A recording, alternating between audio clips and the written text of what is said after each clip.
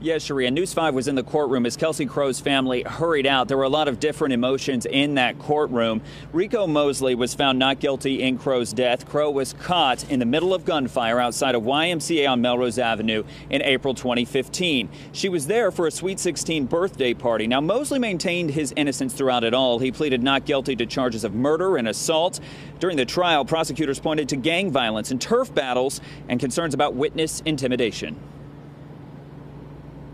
They only had one person saying Rico did it, which she was uh, with the person who I believe that really committed this crime. And, you know, the evidence didn't add up. Her story didn't add up. She was lying, and um, they got it right. In our judicial system, the jury made their decision, and we will keep going. We will keep going for every single victim who has been murdered, whose murders remains unsolved. Now, Mosley's father told us that he feels sorry for Kelsey Crowe's family because they have not gotten the justice that she deserves. He also says that she deserved a better investigation.